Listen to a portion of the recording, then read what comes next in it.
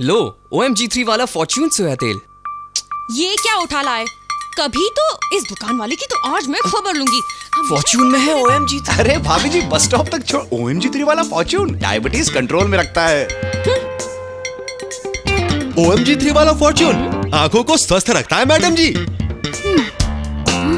O M G three वाला Fortune इसको पोषण देता है।